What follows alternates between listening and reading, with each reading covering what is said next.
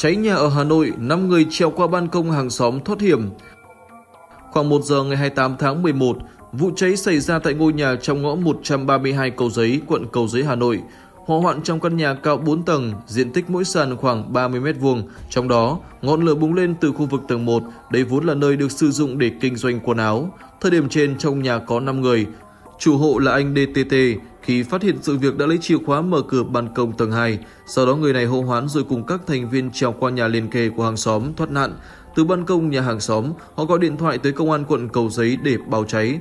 Công an quận Cầu Giấy cho biết Khoảng 1 giờ 7 phút, lực lượng cứu nạn cứu hộ đã được điều động tới hiện trường. Đám cháy được dập tắt lúc 1 giờ 19 phút. Sự việc không gây thiệt hại về người, còn thiệt hại về tài sản đang thống kê. Đại diện công an quận Cầu Giấy cho biết thêm.